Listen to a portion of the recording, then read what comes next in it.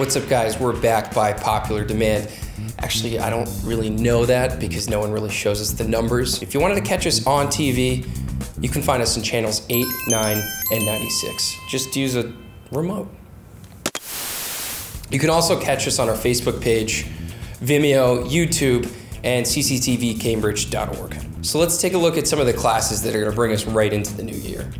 Up first, it's Lighting 101. Pretty important. After that, we have Final Cut Pro X Bootcamp. X is for extreme. Finally, on January 13th, we have the CCTV Super Duper Orientation. I didn't name it, but it's gonna be awesome.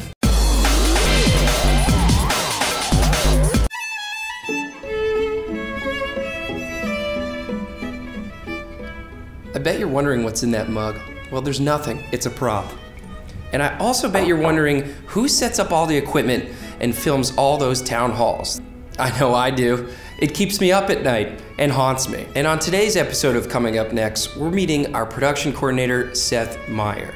Not the cool one from TV, well, the cool one from Cambridge Community TV. Why are you wearing that blazer? That's Well, in my spare time, I'm a college professor. gotcha. Seth, I would say thank you for being here today, but you work here, and you had to be here anyway.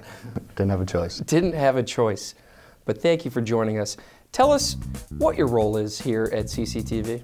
Yes, so I'm the production coordinator, so I coordinate all productions that CCTV does. So that's I'm sending videographers out to film panel discussions at the library, or you came with me on a city council forum uh, recording, or we go out and re- record street festivals, Ribfest, Riverfest, that kind of thing. What's something that you enjoy looking forward to doing every year? probably our live election night production just because it's like a four hour live thing where we've got every minute scripted out and we're like on it we're focused and detailed and we got all these roll-ins that we work on and different guests and there's a lot happening and it's a rush and at the end of it I feel quite satisfied Being a, a Cambridge resident and now intertwined with the Cambridge community here at CCTV, what, is, um, what does that mean to you? Uh, it means a lot. It means a lot to be able to, to give back and to serve in a way the community that uh, meant a lot to me growing up and it's a big part of my identity. The blazer's not so bad. Appreciate it. All right.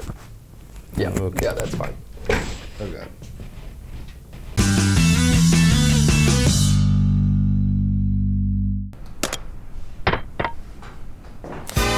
All right, guys, that's it for this week. We'll see you next time on Coming Up Next at CCTV.